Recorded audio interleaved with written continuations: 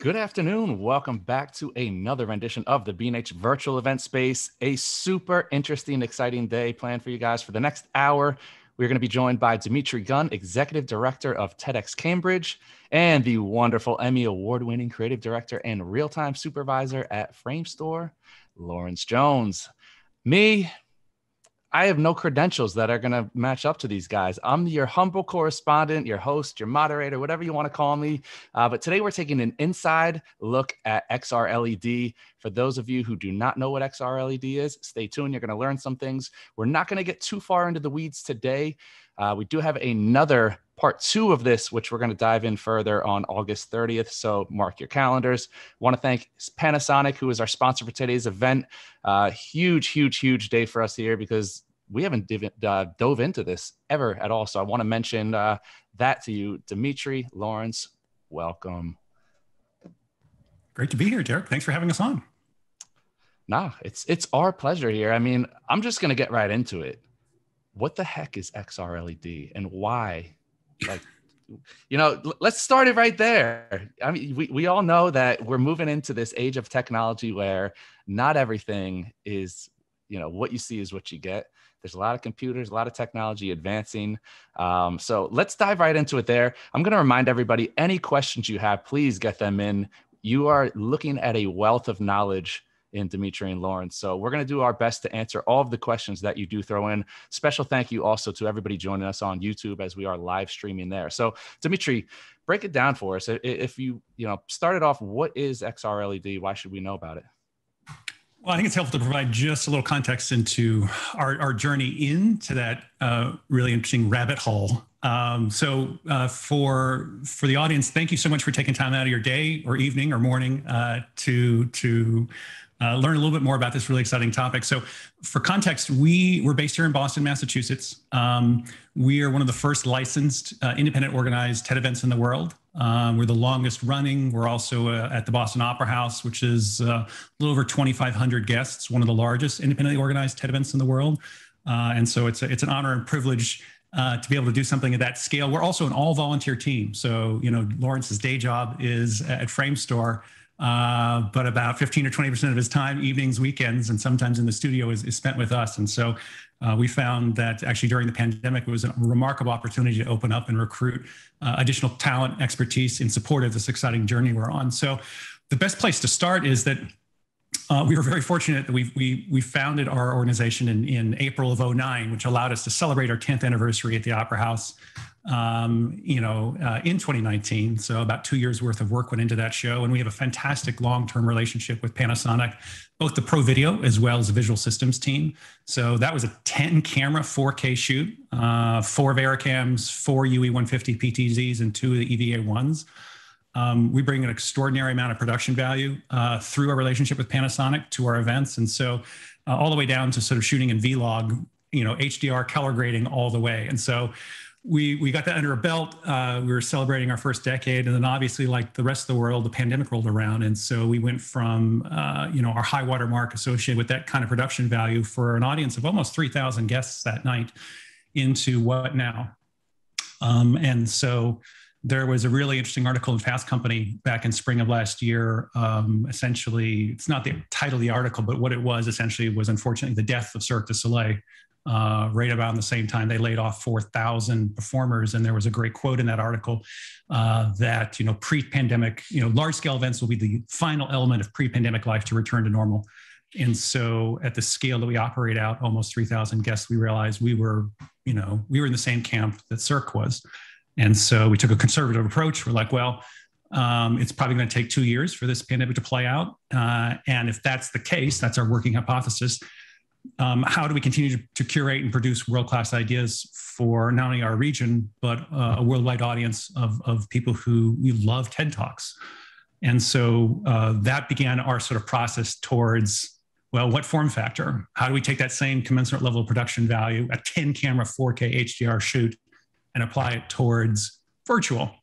So uh, early on the process, uh, and you can bring up some of these slides, we, we sort of flirted and explored uh, the idea of sort of green screen um, most of you, I think, are probably familiar with this. This is how weather, weathermen and weather women, weather people, I guess, Um, you know, talk to us each and every day. Um, and I think what we learned or noticed from green screen, uh, there are some challenges with it. And first and foremost, uh, it's the it's the realization that our speakers are almost exclusively academics and researchers, and putting them into a green screen uh, cyclorama type environment uh, is extremely foreign. Um, it's sort of it's very off putting for them. Um, are we able to see those slides? Yeah, I'm going to pull that up for you again. Cool. Okay. We just a little little snag here. So the the challenge for our speakers, uh, and the same applies to you know entertainers, which Lawrence uh, has got some great experiences uh, happening around the same sort of time that we were exploring this with green screen. It's just that it's extremely foreign. Uh, the hallmark of a, of a, of great TED talk is asking the audience to, to join you on a journey, and that is all about sort of the authenticity, the comfort that comes from being on your A game and essentially saying, "Hey, I, something's wrong with the world. Come, come join me." Uh, whether it be a journey, discovery, investigation, or persuasion. And so, as you can see here, uh, large scale sort of green screen cyclorama. Uh, that's a very intimidating foreign environment. Um, and by nature of our, our, our speakers, they're all academics, they're researchers, and so this sort of terrified them. Um, so what we decided to do was like, well, we we have time available to us. We're no longer beholden to a venue and a date. Uh, and if we thought, uh, and it looks like that's probably going to be the way that plays out. This is going to take two years. Let's use this this the frustration, the anxiety, the pandemic as an opportunity to take a deep dive and learn about XR LED, uh, essentially extended reality LED virtual production. And you know, a lot of you may be familiar with this from uh, like Mandalorian on Disney Plus uh, which was the culmination of several years of sort of work and development uh, that Industrial Light and Magic did um, to help sort of bring Star Wars into sort of the 21st century. And so, Derek, if you can pull up some uh, the ILM shot from The Mandalorian to provide visual context to how a green screen cyclorama environment differs from an LED volume or an LED stage volume. Uh, and the critical component, as you'll initially see, is that like, oh, contents on the wall, you can react to it. You can actually practically light the talent in the volume by nature of uh, the contents displayed on the wall and the ceiling. And so we we looked at that and we're like, wow, that's really exciting. It provides uh, something that no one's ever seen before in support of TED's mission of ideas worth spreading. And so we looked at you know XR LED. That's actually our, our studio where we shot.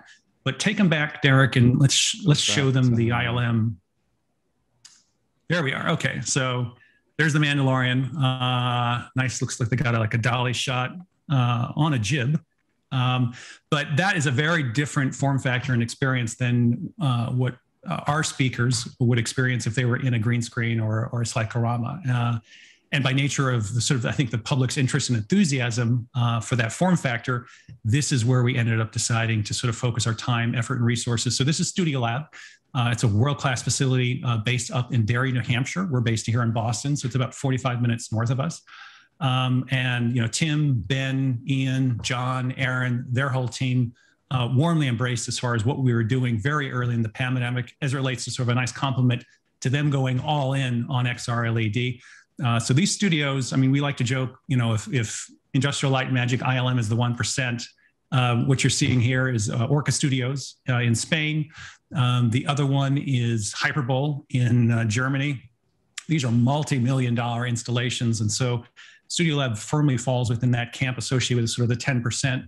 Uh, you're looking at probably a minimum investment of about $5 million to stand wow. up uh, an LED volume, as well as the equipment, lighting, optical tracking you need in order to sort of make this all work associated with fooling a camera into thinking that it's looking through an infinite world into infinite possibilities, as well as obviously the, the lighting that you get from the LED volume that you'll never get from a green screen environment. So um, we decided to go all in. Uh, it is uh, it was a great time for us to do that associated with XR LED because you know we, we couldn't go to in person. Um, the world was still grappling and still actually is unfortunately with the, the long term implications of the pandemic. And so we just use as an opportunity to dramatically expand the team and we brought on board lawrence and a lot of other you know phenomenal uh, talent and expertise. He's he's already won an emmy. Um, and we went to him and essentially said hey we're we're, we're an all volunteer team. We're going to go all in on xr led uh, would you be interested in helping? And he essentially said yes. So let me take a, a moment out. Like lawrence wh- when i came knocking on your door what did you make of this? Uh, because you you were one of the few people that uniquely understood is like what the heck like how crazy it was for us to like make this sort of leap into the unknown? Well, yeah, when you came, well, originally it was to do the green screen mixed reality stuff. So I've been doing that for you know years. Uh, my background's um, over the last 15 years doing virtual production before it was called that. You know, now it's great that it has a name because I can explain what I do. Um, but it's using effectively using real-time rendering engines uh, and doing in, and executing live vir- visual effects, virtual visual effects, uh, composite with a live action, whether it's a a live action talent that's keyed live over an environment that's all CG, or the reverse, it's a live action backplate, live broadcast, and you're inserting uh, elements rendered from a real-time rendering engine like Unreal Engine. We've used many different ones in the past, but Unreal Engine is obviously it's amazing. So we're now being we're able to uh, just really increase the visual quality of everything with the dawn of Unreal, with the dawn of the progression of NVIDIA's graphics card. So it's awesome. So when he came to me, that was sort of the original ask, and um, one thing led to another, and then that evolved to this LED volume stuff, which simultaneously he caught me when he, he was asking about that. I was actually working on these projects because I was evolving too.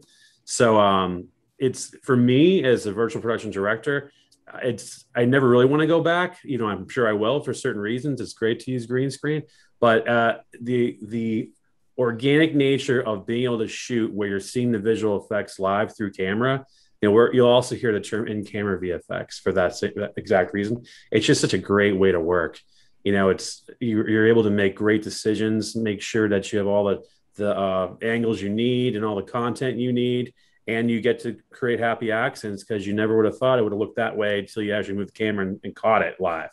Um, so and but i would say the best part of it all is just i think it was alluded to by dmitri is the the talents um, authenticity and their experience and their performance is, is heightened because they they're not in that scary uh, world that Dmitri talked about, they're actually in the world. So just they're they're more natural. I was we did a shoot. I can show you some shot, you know, show you the commercial, but um, we did a really awesome shoot with Psyop uh, and with multiple celebrities, including Zedd the DJ, and he was on top of this. You know, uh, the shot was a high rise. He's on top in Vegas. He's overlooking the sunset. So um, when you walked into that volume, you saw the sunset. You actually felt like the serotonin levels increasing in your own head because you're like, I just feel like I'm here and I'm not a performer. So it just is a great thing. So just that aside, being able to get true refraction, reflection, and do all these do all these complicated sh- shots that with green screen is so hard to get. Um, it's just a great it's a great tool. So I was really really happy that Dmitri had sort of evolved his his desires to go into this world. Um, and you know, there's always it's a very uh, infant world. There's still tons of tech being developed um, for the different you know issues you have, but uh, there's a lot of pros that outweigh the cons, in my opinion. I mean, Dmitri, I want to go back to that decision. We're not talking like, hey, we're just going to take a mild step. We're talking, you're, you're talking these budgets that are just in the, the millions and tens of millions of dollars.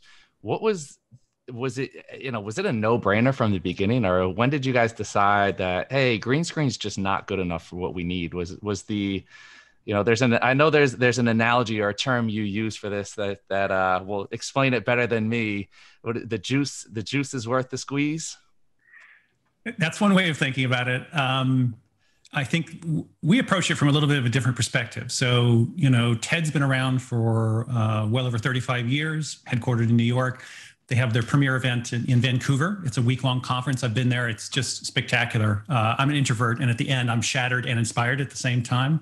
I come home, and my wife knows I need a couple days just on the couch to to read and like pull myself together. Um, we, by nature of being an all volunteer team and, and producing you know really remarkable ideas in the community actually cambridge and boston have sent more people to the ted main stage than anywhere else on earth and i think we're mindful of just the extraordinary talent, organizational, academic, institutional resources that are concentrated here as part of sort of the higher education and innovation ecosystem. So one of the constraints that we embrace is that we were a show. We were only ever a show, an evening event. Um, we went all in on a handful of ideas and, and spent tens of thousands of hours preparing those handful of people to share their ideas on that stage in front of about 3,000 people uh, once a year as far as our, our premiere event. Um, and so what we realized is that, well, you know, we we never approach this from a day long or a week long event. It's like, well, how do we bring you know the same commensurate level of production value, a 10 camera shoot, into some sort of virtual realm? We also we're an you know we're an all volunteer unpaid team, and and we live, breathe, survive, and succeed uh, with the case studies that we establish with our you know with our world class partners, in which Panasonic has been a long standing one.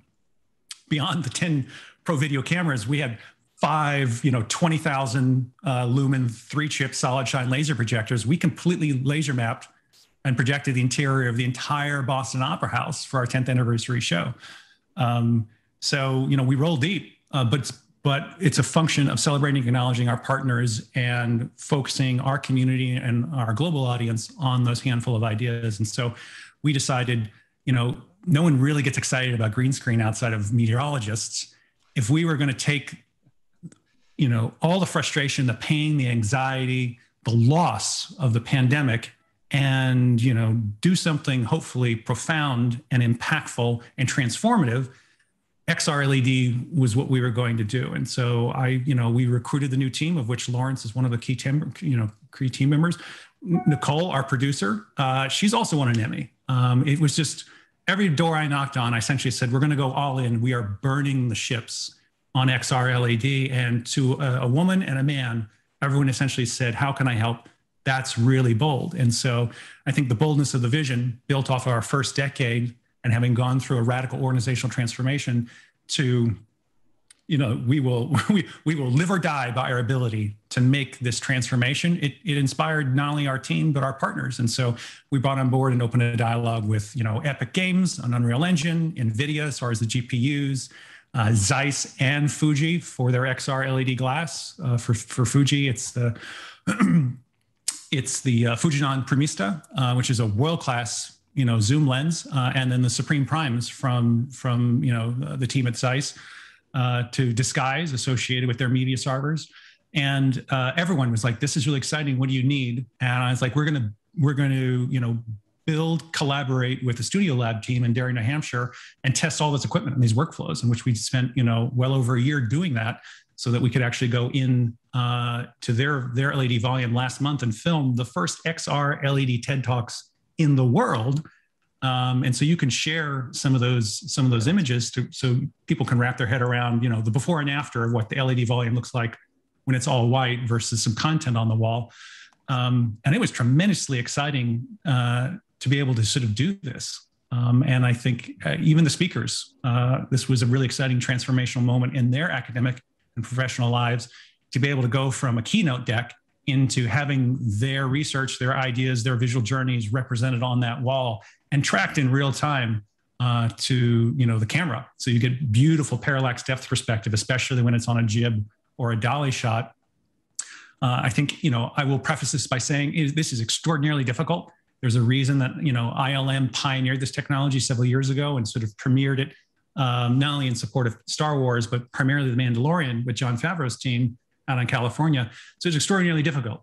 Um, but uh, as you essentially mentioned, you know the juice is worth the squeeze because once you master these workflows and you and you're you're collaborating with the equipment manufacturers in support of our vision of taking TED Talks uh, which are universally well respected globally, and transforming that into a visually immersive experience with a direct to camera approach in a, a world class XR LED volume that's Studio Lab.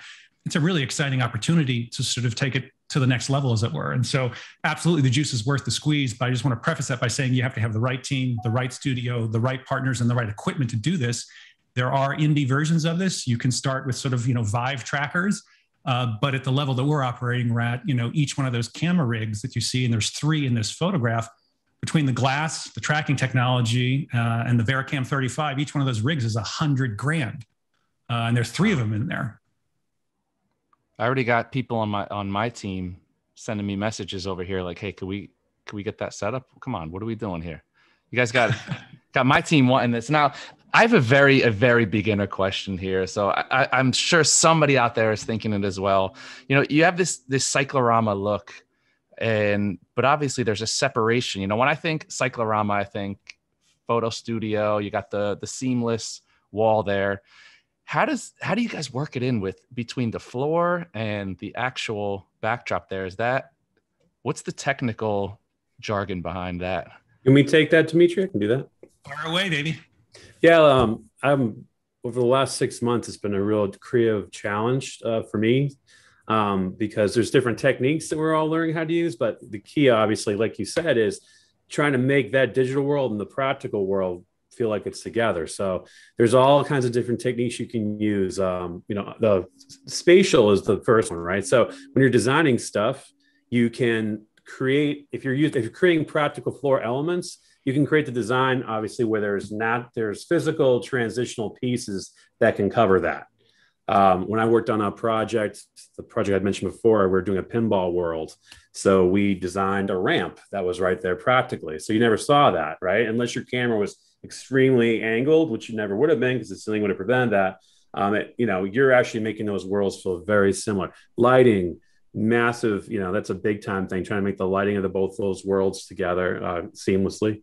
Um, uh, color science making sure that the LUTs that you're using on the screen you know the, everything's calibrated correctly uh, the, the, LUTs on your camera are correct and it's all looking uh, like i say cohesive which is a science all to itself and then can, I, uh, you, can I jump in can i jump in real quick sorry to interrupt yeah, no no worries how many how many panels i mean when, when we see screens like this we normally to people like me, it's like, well, is that all one giant LED panel? Is it a you know a thousand panels put together? What are we looking at as, as far as a screen like that? Yeah, that one. I'm not. I can't remember how many actually there were. That was what a, a 40 foot. It's. I think the the Studio Lab dimensions are 50, 52 feet linearly on an arc. It's about 35 feet um, across as far as the the end points and about 15 feet high. Um, they're they use uh, like a 2.9 pixel pitch uh, professional LED uh, panel. Uh, so they're rectangular, not square. Uh, how many actual panels, I'm not sure. but here's a, here's a perfect lesson that Lawrence can say. That's not a curve though. Those are, those are like 40 planes. And if you don't map it appropriately and you manage like the color values and the light field mapping, uh, you're going to get into deep, deep trouble uh, when you're trying to match the virtual world with the real world. So that is, it looks like a curve. It is technically not, and you need to know that going so in. All flat planes, and so when you talk about like the calibration, is it like, well, if I have this at an angle, you know, this green is not going to be match this green, so I have to calibrate this green to look the same as.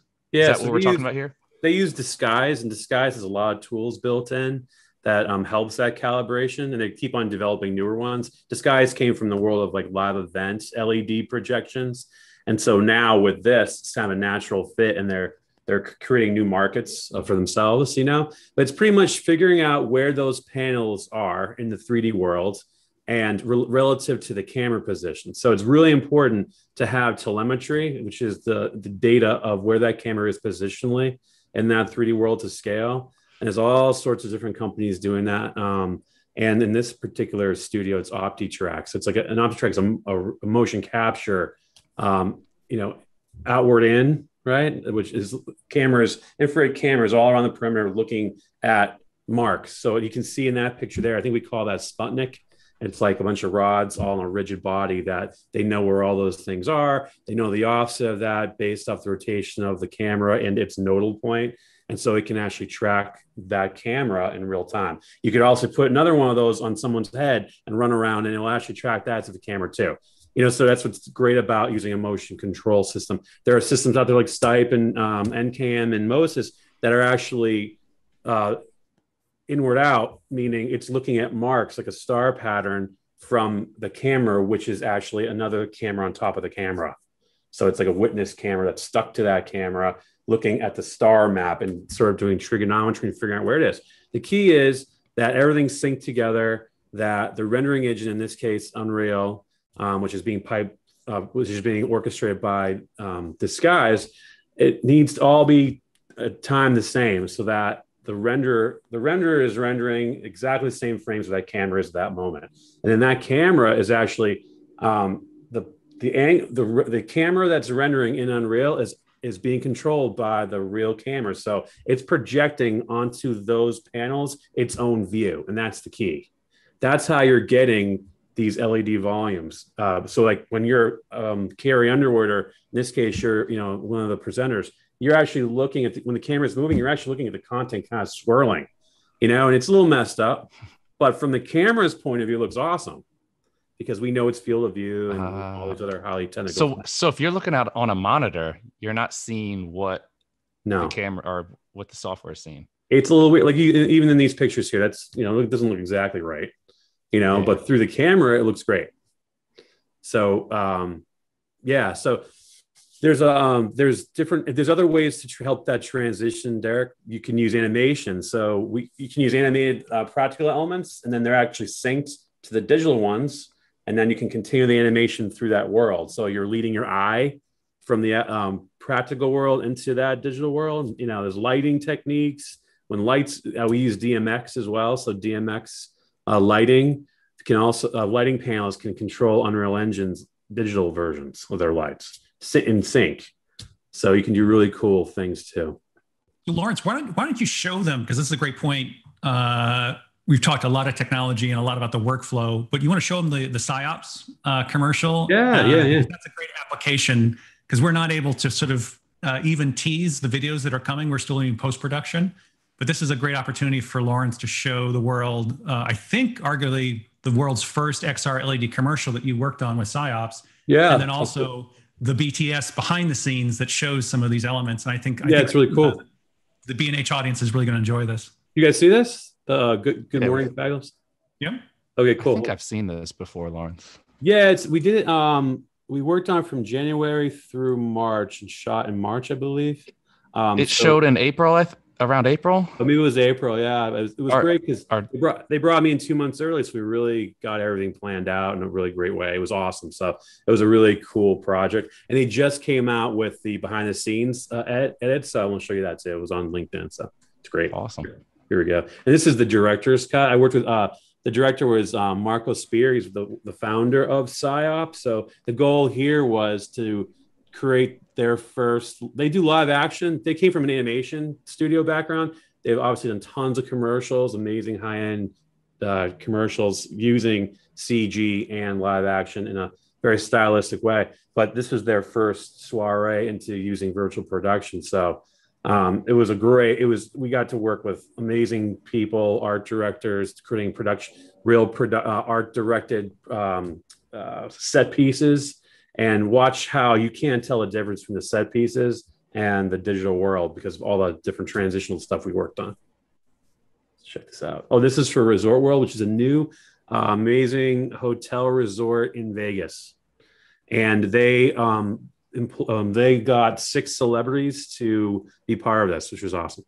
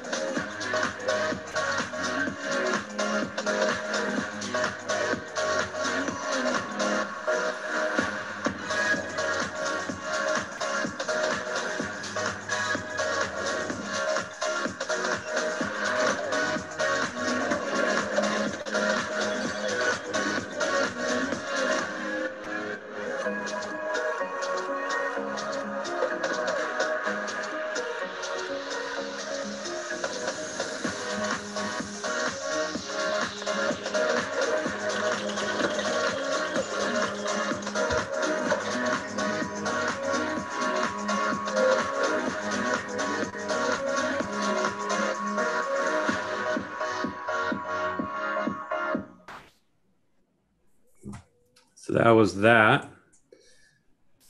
And we're, so that, we're going to drop a link to that on on YouTube, Lawrence, so that we know sure. that it's Zoom. We, we don't want Lawrence's work to be the product of showing it on Zoom. So if you guys want to check that out uh, in full, it's it's full splendor. Definitely check that out. We're going to drop a link there for those of you out there watching in the virtual realm. Yeah, so that was um, we worked with Nant Studios, um, and that uh, which is we were I think the first production at Nant Studios, which is this amazing, um, and it looks like going to an amazing uh, LED stage. I think it was forty. The diameter was forty uh, feet, but it had like twenty five foot ceilings, and it had like a horseshoe shape. So uh, the key was doing tech viz from the beginning. I'd, I'd really sold that. I'm like, because we had like six environments, very short uh, production time to turn these sets around. So um, everything that went into the planning of this was with the virtual, this virtual production uh, pipeline in mind, knowing that the key is pre-lighting, right? Usually pre-lighting takes, you know, a day for everything. Um, but this requires more because you're trying to pre-light two worlds to blend together so I, you know, we we really pushed on that. So we had two days to do that, um, but we also got the set. Oh, the sets were extensive.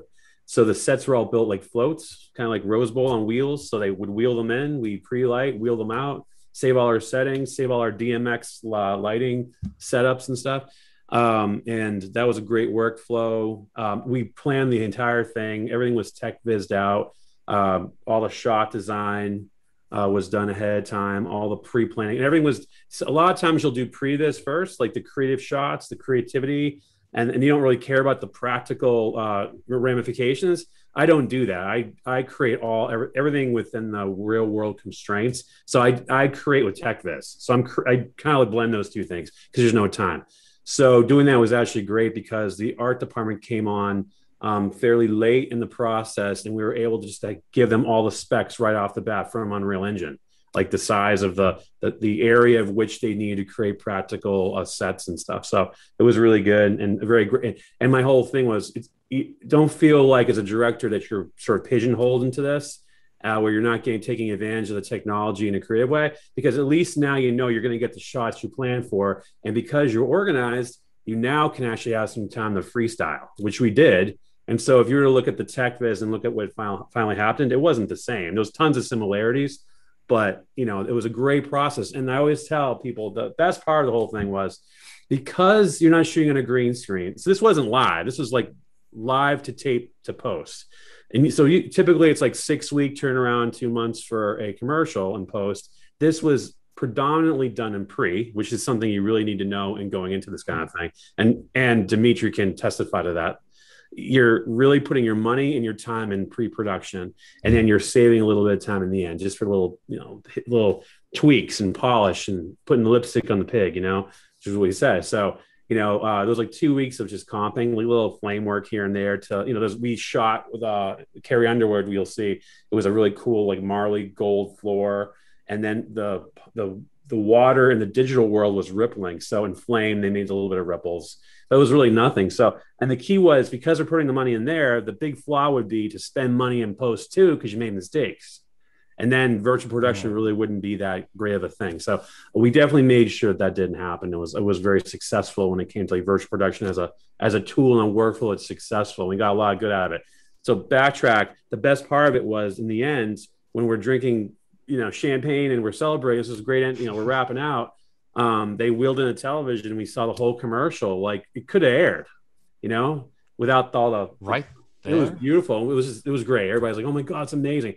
Because the workflow is you're you're shooting it, you're shooting all the VFX the same exact time. About ten seconds later, it's living in Premiere, and you're editing it. So you're actually finding out what the flaws are, of your flaws are of the story and the coverage you haven't gotten. So when you go to bed that night, you're like, oh, is, you're not stressing at all. Well, not that much, but you know, way less. Mm-hmm. So I'll show you. Here's. Oh, go ahead. Uh, yeah, when, when you're pulling it up, um, we we did have a question regarding the VFX portion. How hard is it to combine the VFX with what is real as from like a lighting perspective. It's like almost like, you know, if you're going to Photoshop somebody into an image, you have to make sure the light is the same color, same quality, same direction, all that. Is it way easier than we're thinking about it or that we're making it out to be or is it really super difficult to combine the B- the VFX backgrounds with what is real in this case I'm guessing it's just the subjects and the props right yeah well exactly so in some ways it, it's great to this studio had a really large LED ceiling which typically isn't the the pixel pitch of everything else so it's not great to have on camera um, but in the end, because there's so many pixels, it's it's so so amazing contributing to the ambient light and specular reflections. So the way that they had that set up was they had an iPad, and the uh, DP that we're working with was pretty much amazing. And uh, he was from The Mandalorian season two, and he uh, he was the cinematographer of Wonder Woman one and two. So uh, he had experience on there. So he had an iPad, and when he was lighting, he's using we're using the real pixels from Unreal and it's lighting the world just naturally. But if you want to uh, emphasize certain areas with light, you bring you this uh, interface. You could drop square or circle white cards, feather them, soften them, and like you're literally just changing the lighting on the fly.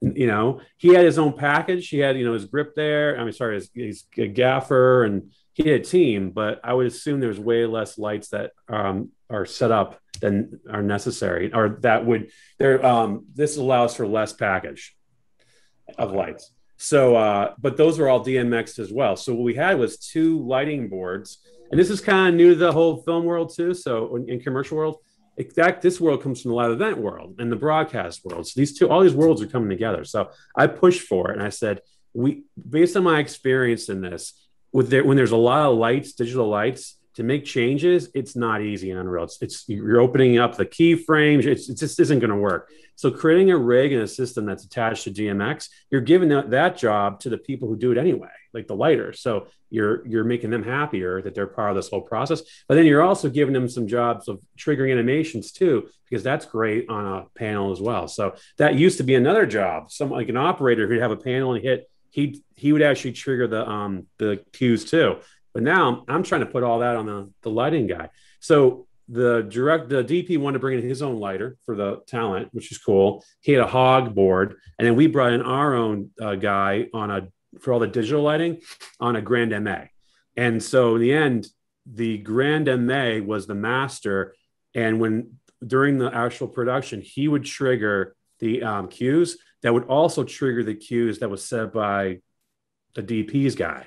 So it was awesome. So that really helped with the syncing everything, everything to answer your question. So it, during those pre-light sessions is where all the magic's happening. Now, having a VFX background is essential too, because you have to understand how all this works in the VFX land, right? You have, you know, you need to understand uh, how to set up the, you know, the um, the color, ACES color, and make sure all the color is the same in all these different places, whether it's the camera, whether it's the digital screens, or whether it's Unreal's rendering capabilities and the record too, right? So uh, there's a lot going on there. And then um, they brought uh, Nant brought in their guys to do all that on a weekend to make sure it was all like completely synced and beautiful. So Nant was awesome as well. Um, and then we had some really talented guys from. Uh, I brought in this company called ERG. Uh, they're out of Vegas, who also helped us build all these Unreal environments. So their artists were there. Uh, and the interesting thing was their uh, lighting director was there who had, and I didn't know this. We had DJ Tiesto was one, um, the ta- one of the celebrities, and in his world that you might have seen with all the you know pipe organs, there was 150 digital lighting fixtures there. And the the lighting director they brought, I didn't know this, but he had worked in Vegas for Tiesto's show for a year. So if there's anybody more authentic at animating his lighting was him. So that was such an awesome, you know, like plus, you know, because we knew that he, you know, that talent wouldn't really have any issues. So it was great. And that was key in making everything awesome because when the director, when Marco is like, oh, I want like more of a red cue, it's like, mm, like literally like five seconds, everything turns red and different animations happen. So it was amazing. So That's this, awesome. this behind the scenes, you'll see all that, but there was really a, a really cool moment where you know, in the interest of trying to make everything in pre-production, there was a there was a shot with Luke Bryan who was actually going to be fishing off of a boat, and so normally you'd wrap the and it was on a base like a pedestal, and we're in uh, visual effects you would wrap it with green, you'd key it out, roto it, whatever, but we didn't have that liberty, And so, you know, we were thinking about doing that. And I was like, no, man, let's really do this in, in camera. Let's really innovate and try and figure this out. So I came up with this idea because uh, I have a compositing background. What if we can actually, we know where all those LED screens we talked about were, you know, in space relative to the camera. What if we put LED band aids in the foreground in front of stuff, project onto that? Wouldn't that actually erase effectively the talent that's behind it or the practical elements that's behind it. So I naturally thought that the guys who worked on Mandalorian had employed these techniques for like years, but they're like, no, we've never done that. I'm like, oh God, it's probably isn't going to work. So, uh, but their net was awesome. They were down with the challenge. So over a weekend, they built the whole thing out and tested it. And we're like, holy shit, it works. So uh, it was wow. that was awesome. You'll see that here. A lot of the behind the scenes, you'll see this panel being built. It's actually covering up the practical rigging and projecting the water through it live. And so that, it was really great because you could get that Sputnik I talked about and you could pull it from the camera, walk around with it, and the screens would update based on your view. And it felt like you were in a, um, in a big aquarium when you walked. So you'll see us right here. So this is the behind scenes. Wow.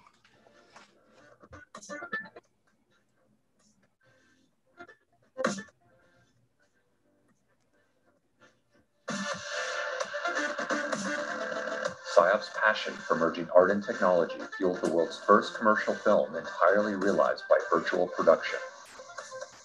As the first property to open on the Las Vegas Strip in over a decade, Resorts World saw an opportunity to show its brand of innovation and technology in a new and exciting way.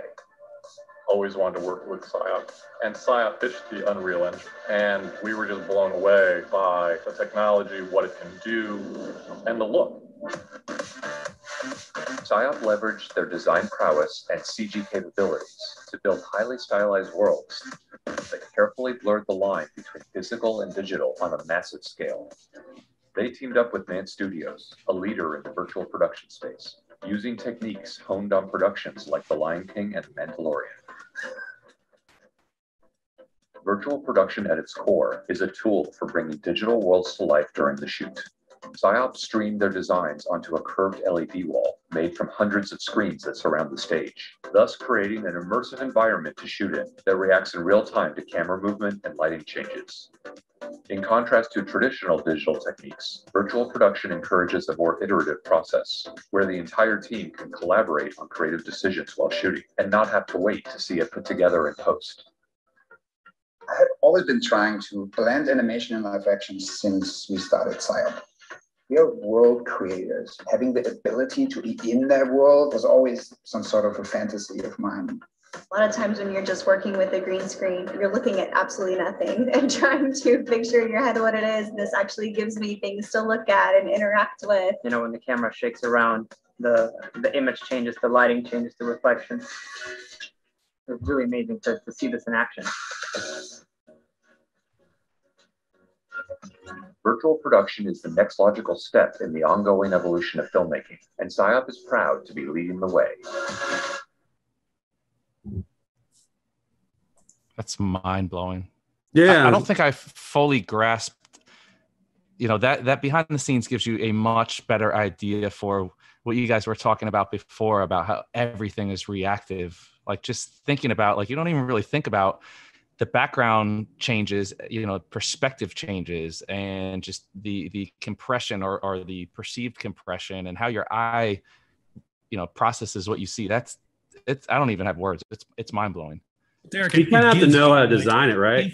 Creative freedom, right? It's like Lawrence and I think about this from the perspective. It's like if you put the time in, you put the effort, you build the right team and the partners, um, it's like you you essentially become Neo in the Matrix. Like you can bend reality to your will, and as like a DP or cinematographer or a lighting designer, to be able to look at it and in real time shift it, tweak it, edit it, uh, or have the confidence as far as like putting the substantial amount of effort. And I will reiterate to what you, what Lawrence said. Like this is a really you know tech viz, pre viz, pre production heavy uh, sort of workflow but the beauty is like you have confidence coming out of the studio, you've got it, it's in the can. Or with the time you got left to you, now what can we do? Right. I mean, there were moments when we were in the studio, Studio Lab, where we've already got it. We know it's done. It's like, what else do we want to explore? Let's let's let's throw on some different glass. Let's let's explore, you know, some different dolly or some jib shots. Um, you would never be able to do that in in green screen because it's just an entirely different workflow. So the same thing that appeals to you know Carrie Underwood in that video, as far as just the confidence and the comfort of being able to sort of interact with that uh, that sort of visually immersive sort of studio environment. The same thing applies to our speakers, and so knowing that they're coming from an academic and research background, it allows them to have that level of comfort and authenticity, so that they can take you know this audience on like a visually immersive journey in service of their research or their idea in the same way that you're seeing associated you know this really remarkable commercial that, that lawrence participated on as far as like that new hotel in vegas and so um, i would i would warmly encourage people to explore and learn a little bit more about this uh, we're happy to be sort of a supportive resource i think with the time we've got left as far as specific questions but i think the power of this is is that there is enormous creative destruction coming uh, in the best possible sense of the world. And traditional silos or traditional workflows are being like blown up by the month. Um, you know, the technology that we're exploring now, especially with like Zeiss and Fujinon with their like extended data XD workflow, as far as pulling all the real-time data, lens encoding data out of the lens and ingesting it in real time into the engine that actually puts like set extensions in volume, final pixel augmented reality onto the table is is mind blowing. And so um, you know, I think when we first started this exploration a year ago, there were a handful of these stages. Now there's over 200 XR LED stages available in the world. All of them, you know, you're looking at probably a three to five million dollar capital investment, uh, and tens, if not hundreds, of hours of wrestling the workflows because there's there's enormous amounts of equipment involved and they all need to be integrated and there's different flavors and versions of this different camera tracking solutions inside out outside in full volumes roofs floors uh, elbows, curves. Um, you know, it's just it's a really exciting time, and I would encourage people uh, to sort of learn more, get involved, find out where local studios are. Um, right now, everyone's it's a highly collaborative environment, but it's also an opportunity to like just experiment, and the, the creative opportunity is it's like I said at the end of the day, for those sorts of teams or or studios or content creators, you essentially like become Neo in the Matrix uh, and that's the real power. And that allows you to sort of creatively flex once you figure this out, um, the ability to change that content or to shoot, you know, one of the most powerful things associated with that ILM making uh, making of with with uh, Mandalorian is the DP talking about shooting a 10 hour dawn, like magic hour. That's mind blowing if you're a DP to be able to just go in there and shoot 10 hours of dawn footage you could do that. Yeah. It's just spectacular. So, you know, Derek, questions that you've got or you want to source from the audience, uh, we're all ears. We want to be, you know, get through as much as possible. Hopefully, there's there's lots of questions sort of flying yeah. around out there. Definitely, I do want to second that. Get your questions in. Like you have no better time to ask. Like I said earlier, these guys are a wealth of knowledge. Um, I, I want to go back because we did have a question, and you kind of just touched upon the idea there with the human element with Carrie Underwood.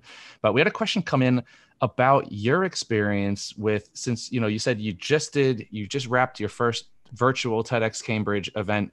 What was it like for the talent responding to this new technology? I mean, I, I liken it to like with us taking going from live to virtual events. I've had multiple people who are like, I'm looking at a screen. I don't see people. There's no like interactive element of having humans on the other side. What was your what did you notice, Dmitri, about how the live talent responded to the technology? Uh, good question. Uh, actually, take us out of the so I can see you and Lawrence because right now yeah, uh, we're still in presentation down. format. Um, I would say um, we did everything we could to provide them sort of photographs of the volume, the content on the wall. Lawrence, you know, was aware of all this, but uh, it, it actually reminds me a lot uh, and this will probably resonate with a lot of your audience. It's like the first Cirque du Soleil show you ever went to.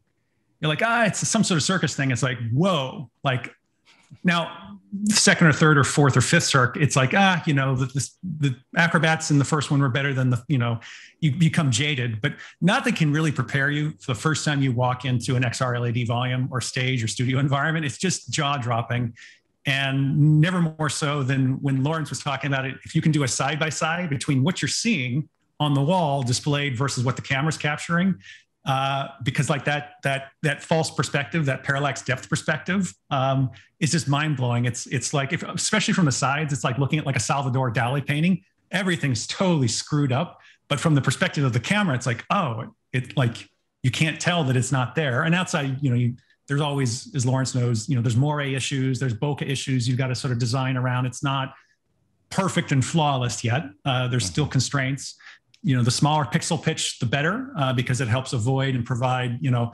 flexibility when it comes to sort of more beginning to sort of materialize you know the quality of the camera and the image sensor as well as the glass that you've got. Makes a huge jeff you know the, the reason that we're using cinema cameras versus broadcast is we want that shallow depth of field. That is absolutely our friend. Uh, broadcast cameras are a different look and a different sort of visual aesthetic um, but um, it's just so much fun. So they were prepared but everyone's jaw uh, if they're honest the first time you go into the volume it's lit up you're seeing content sort of roll through, or like if you do a real big move on a jib, it's just everyone's minds are blown. now, now, what about you? You touched a little bit there, Dmitri, on some of the challenges. Is there any what, what challenges from what you're seeing so far, or Lawrence, if if you want to chime in on this as well, as far as you know, we're coming here for the benefits and the plentiful benefits, but what are still some of the challenges that you're seeing at the time of recording with this new technology? Uh, Lawrence, educate- what have you noticed? Oh yeah, uh, edu- uh, education of producers and clients. Uh, they need to know that there needs to be more lead time. Um, that their schedules that they've been working on for years, you know, their formulas have to change. Uh, their money, where the money is going to go, their budgets have to change, what they're allowing for. Uh, technically, um, and there's different segmentations of knowledge. There's like production, there's uh, camera, lighting, but uh, definitely um, because we're dealing with real time rendering, there's the whole CG pipeline. It's different, right? It's uh, under, so you have like really high quality filmic commercial pipelines. They're typically rendering things in post on render farms. Now they're all learning Unreal Engine, and they have to understand how to create slightly differently for game engine You can't just throw something that looks good in Arnold or V-Ray or whatever and throw it into Unreal and expect it to work great in real time. You'll you because the it's very there's no tolerance for one frame um, difference. So you might go, all right, well, this is a 30 frame a second uh, piece, right?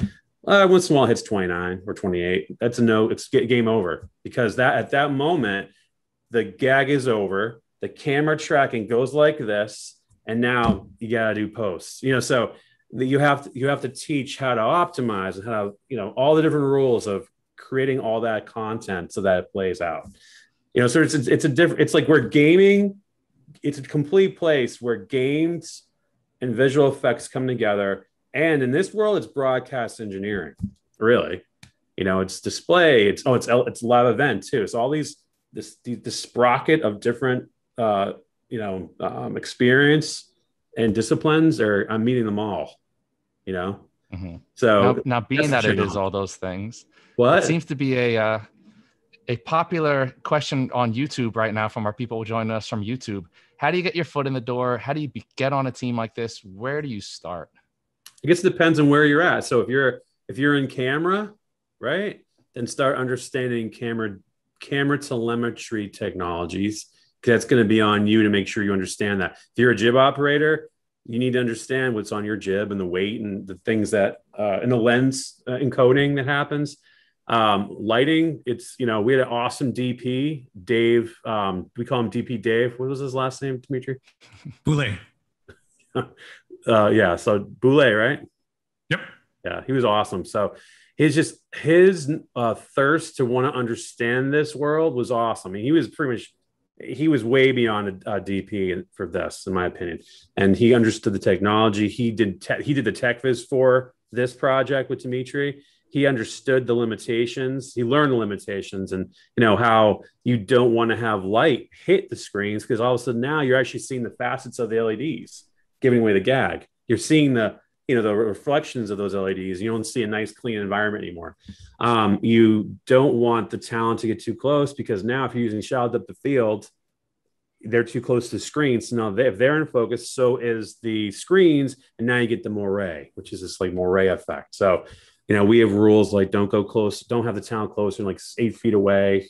Uh, make sure you're shooting like like uh, Dmitri said, shallow to the field. So every single discipline has to understand their role. So no matter where you're coming from, it's you have to understand your role and and just uh, like there's so many great um, behind the scenes and explanation uh, PDFs out there via LinkedIn.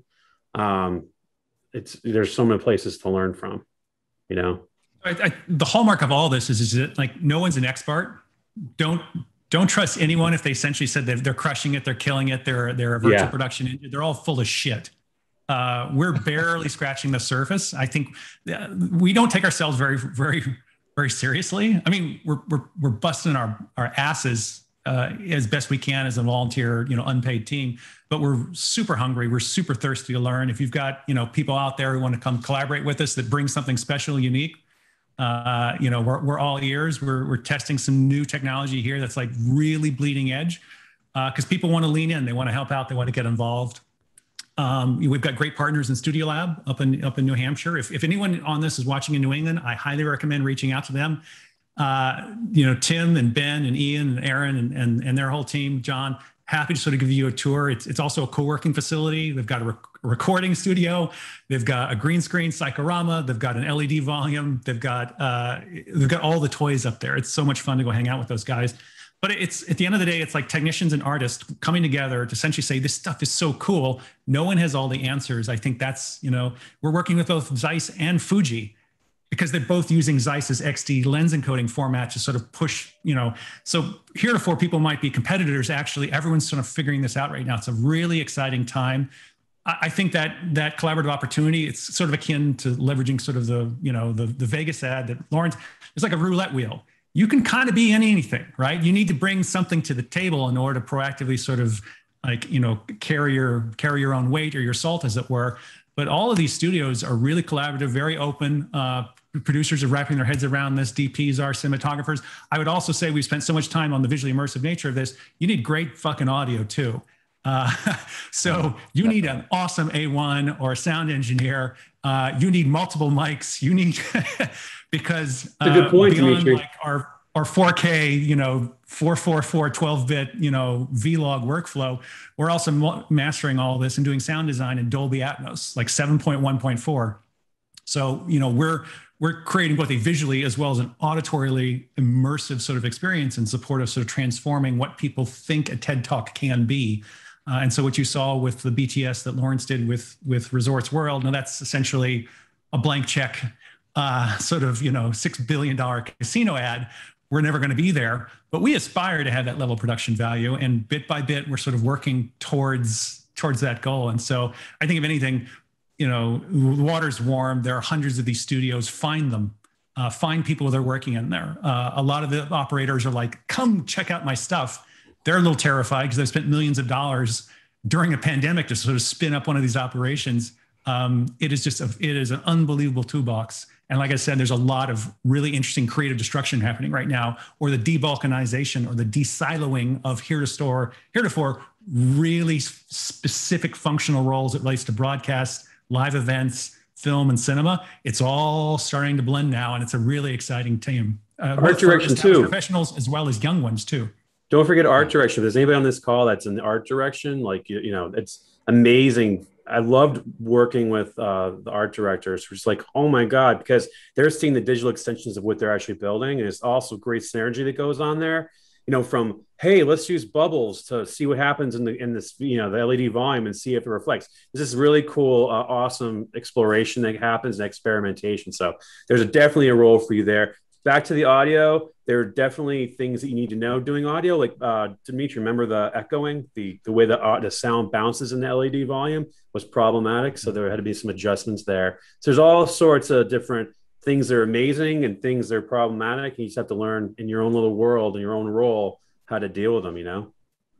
It's, it's about well, knocking out anything that like allows people like we, we want to stay outside the uncanny valley like moire or bokeh or like shallow depth of field or like light spilling on the wall or seeing the individual facets or or you know sound issues because what, what essentially happens is it takes you out of the moment and you start becoming like a critic of how they shot it, or something doesn't quite look right, especially like a dropped frame, or the track, the optical tracking isn't working perfectly.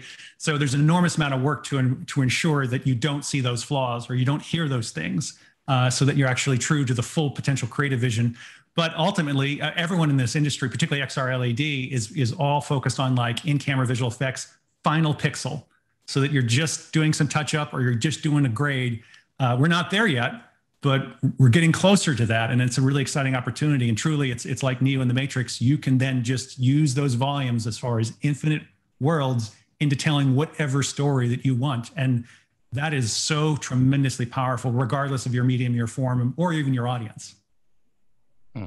Dmitri, I think you have everybody driving up to New Hampshire right now. Uh, hey, Jordan get, go go to Derry, New Hampshire. These guys are so freaking cool.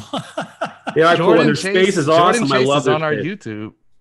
He, Jordan Chase is on YouTube right now. He says he's 10 minutes from Derry. So you're the winner right there. You, you got the shortest drive. So go make it happen. Um, I do want to get into one more question. And I want to remind everybody August 30th, we're going to be back with a more advanced, um, a, a deeper dive into all this XR LED stuff. So I do want to invite everybody back. And if there's anybody who has a cinema background, anybody who is has background in, in VFX or anything, even if you're just interested in it, it's going to take today's interest level, which is giving me chills right now. I learned so much. So I want to thank you guys, but we're taking it to another level. So I want to personally invite everybody back August 30th. Um, but we're going to get one more question in here well, before I let you guys go. The Studio Labs uh, director of virtual production on the call so that he and, and Lawrence can take a really deep dive into the technology, the cameras, the optical tracking, the pixel pitch, wall dimensions, uh, you know, lens encoding. We'll we'll take a much deeper dive into like, you know, what goes into like a hundred thousand dollar camera rig in order to do this really well. Definitely. So our, our final question is coming in from Matt, who's joined us from live stream. Has anybody used the off-camera access to get, as you said, the Salvador Dali weird backgrounds as a visual background? I well, I mean, obviously you only notice it if you're in like the wings of the volume and you're like, wow, that looks really weird. You would never want to like that would be so visually distracting. But I don't know, Lawrence, has anyone purposely like turned off or you'd only get that from like a camera B or a side profile have you seen anyone actually use that? Uh, I mean, stylistically, like on purpose. Really weird to I see it. I guess stylistically. Yeah, I, I, haven't actually seen that, but like a lot of these cool artifacts, we always laugh about. Like if you if you were to look at, uh, there's a shot for um, the the pipe organ scene with DJ Tiesto, and uh, we actually we looked at the ceiling, and it wasn't bad and but you saw the lights coming they, they took out leds so you saw these holes with spotlights in there. And at the end of the day we're like it's kind of cool. Like it's not right but at the end of the day it's aesthetically it's kind of neat. We dropped some volumetric fog on that and call it a day you know? So um, there's a lot of cool things that you get that are artifacts that people hate but if you really pump up the problem and call it art and you commit to it then i think to that thought with the Dali you know, you, you could do, totally do it. And you'd probably make a lot of like Ian's in the world be happy because they don't have to worry about it. I know. Yeah. I mean, it's, it's, it's, I'm sure some of this stuff too is I would never notice it. I didn't, like I said, I watched, I saw the commercial actually months ago before this event was even a thing. Never would have, never would have crossed my mind. Never, but as people who yeah. are working on it and, and who know it, you see it, you notice it. And once you see it, you can't unsee it. I worked on a, project with Madonna with volumetric capture, and there was a whole bunch of things. I was like, "Oh my god, we gotta get rid of that. We gotta clean it." Uh, it's technically anybody in the industry be like, "Oh, dude," but she was like, "I love it. Let's make more of it." I'm like, "Oh no." so, hey man, whatever floats your boat stylistically, I would do it. That's it. That's it. Well, look, this has been awesome. I wish I could sit here and talk to you guys all day. It really is just super entertaining it's not just me who sees it, but you know, the the comments are pouring in on YouTube, live stream, Facebook that you guys' excitement about the technology is just infectious. So I want to thank Dmitri, Lawrence, uh, the whole team at Panasonic, Gregor, and everybody over there at the Pro Video and Cinema side. Any last words, you guys? I would say, like, don't let anything that we've spoken today intimidate you. Like, I didn't know shit about this 12 months ago, like nothing. Uh, and the water's warm. Uh, anyone that pretends that they're an expert, they don't know what the hell they're talking about. Like there are some really phenomenally talented individuals out there. Don't get me wrong, um, but uh, now's a great time to get involved. If you're if you're young, uh, you've you got a tech background, or you're like one of the trades that's critical to doing this. Like uh, learn more online, figure out where the local facilities are you know, SCAD, Savannah College Art and Design is just spinning up a volume down in in Georgia so that they can start teaching students this stuff. It's it's going to become part of like curricula in universities that have premier sort of film, television, VFX uh, sort of programs. Uh, but and even if you're you know established uh, profession in the industry, now's a great time to kind of like go back to school as it were, or get involved in some of these projects. But uh, I don't want anything that we've shared today to intimidate anyone from learning more. There's a ton of good stuff and resources and guides online. Get involved. There are now, I guarantee you, a lot of the people who are watching us, there's probably a few volumes within 50 to 100 miles of you, particularly if you live in New York, LA, uh, you know, London, Tokyo, uh, you know, Singapore, Shanghai. They're there. Um, and by and large, pretty much anyone who has a facility like that, I've found to be extremely open, and they want to give you tours and learn more. Um, it's just the water is really warm, and there's just so much creative opportunity uh, inherent in these new volumes and these new workflows. So get involved.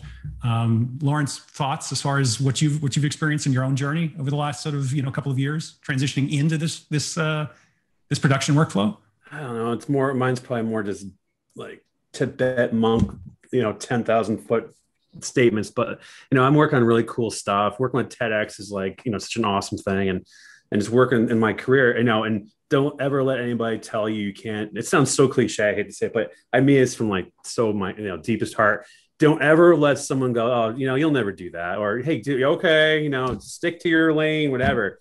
Just jump out of the lane and do it. And then once you start doing it, tell yourself, tell the universe that you're going to do this and you're going to do this and get paid, and then it'll eventually happen. If you love it and it's fun and you keep, you know, that's absolutely what would happen.